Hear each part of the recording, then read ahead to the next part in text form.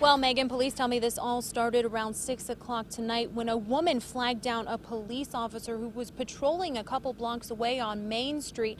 She told that officer that she'd been held against her will here at this home in the 100 block of Iroquois.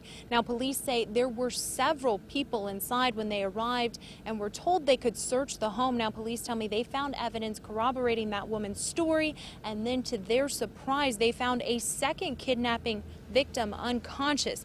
That woman was taken to the hospital with non life threatening injuries. According to police, the women knew someone in the home. They got in an argument and weren't allowed to leave.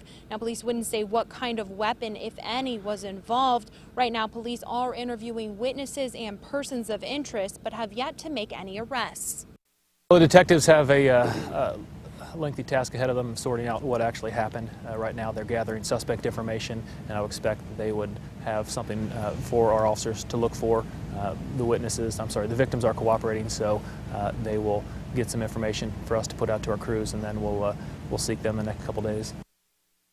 Now, police tell me whoever is responsible will likely face charges of kidnapping or unlawful restraint. If you have any information, call Crime Stoppers at 222 7867. Reporting live in Dayton, Jackie Sprague, 2 News, working for you.